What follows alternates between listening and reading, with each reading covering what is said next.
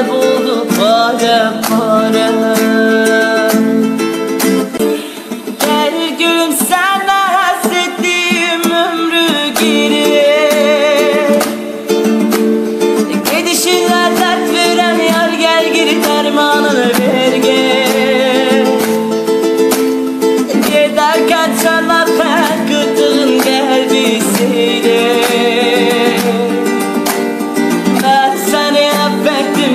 inşallah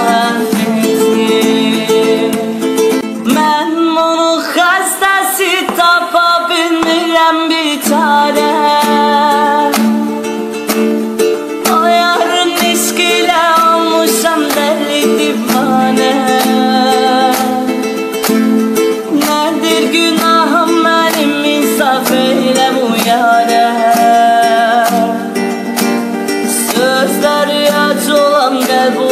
وقفنا